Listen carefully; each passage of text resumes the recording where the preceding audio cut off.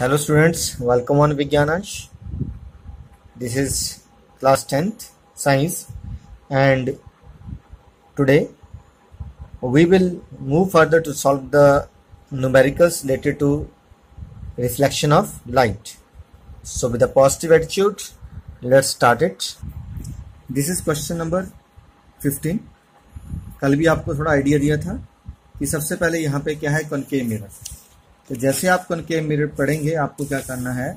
Concave mirror को design कर लेना राइट ये क्लियर हो गया हमें, ये कॉनकेव मिरर होगी, ये प्रिंसिपल एक्सिस हो गया। फिर आगे हम क्या पढ़ते हैं इसके अंदर? An object of size seven centimetre तो जो जो चीज़ें गिवन है, उनको लिखते चल जाइए, ताकि एक आपको क्लियर हो जाए। H O is equal to seven centimetre right then दूसरी चीज़ क्या दी है?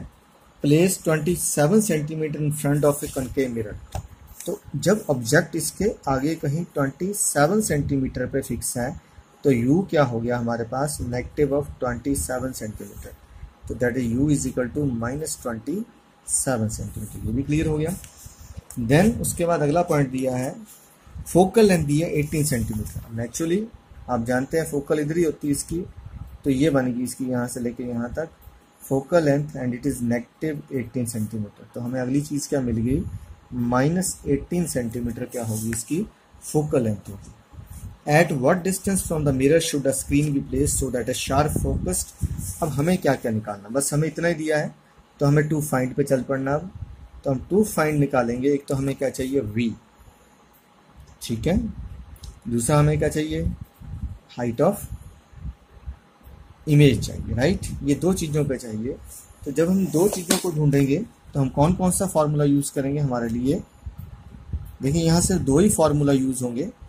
कौन कौन सा? क्योंकि यहाँ ना तो आर है नहीं। हमें डक्ट क्या मिली हुई है? एफ़ मिल गई है।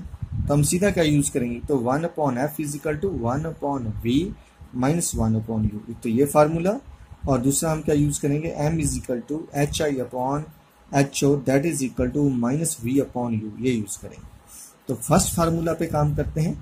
अब हमें पता है एफ़ पता है यू पता हमने वी निकालना तो वी यू इधर जाके क्या हो जाएगा प्लस का हो जाएगा। तो हम क्या निकालेंगे? One upon v is equal to one upon f plus one upon u तो one upon v is equal to one upon f आपको पता है दैट इज़ एटीन है। और यू कितना था? देखिए एफ़ भी आपका किसमें है? माइनस में। तो माइनस साइन साथ रखिएगा। Again it is minus and minus of one upon twenty seven u कितना था? 27 इसलिए इसमें क्या लगाया? माइनस लगा है अब 1 upon v is equal to one upon minus eighteen plus one upon twenty seven minus minus क्या हो गया? प्लस राइट जब आप एलसीएम लेंगे, अब हमें पता है कि हम 27 और 18 का जब एलसीएम लेंगे तो पहले थ्री से जाएगा थ्री नाइन जा एंड थ्री सिक्स जा। फिर थ्री से चल जाएगा थ्री थ्री ज़ा थ्री टू ज़ा। बस थ्री थ्री ज़ा नाइन नाइन थ्री ज़ा twenty seven twenty seven two ज़ा फिफ्टी फोर तो हमारे पास एल सी एम आ गया फिफ्टी फोर तो हम प्लस वाली चीज़ को आगे लिख सकते हैं, जैसे भी आपकी इच्छा हो। तो प्लस कितना हो गया? या माइनस में लें ट्वेंटी सेवन टू ज़ा फिफ्टी फोर और माइनस पीछे शिफ्ट कर दिया मैंने, या नहीं करना है तो एटीन थ्री ज़ा फिफ्टी फोर तो माइनस में आ जाएगा सेवनटीन टू ज़ा फिफ्टी फोर तो हमारे पास क्या बचा?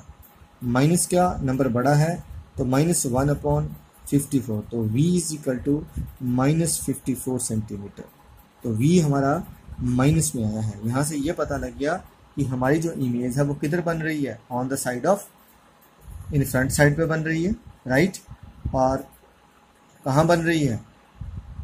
रेडियस ऑफ़ कर्वेचर यानी कि ये सी से भी काफ़ी पीछे जा रही है।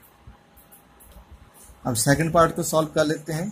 कौन से वाले को? H i upon h o is equal to minus v upon u तो एच आई की वैल्यू हमें नहीं पता है। एच ओ तो हमें पता था ना सेवन सेंटीमीटर तो हम एच ओ पता है मैंने एच आई निकालना तो h i is equal to h o into ठीक है माइनस वी अपॉन यू ले लेंगे।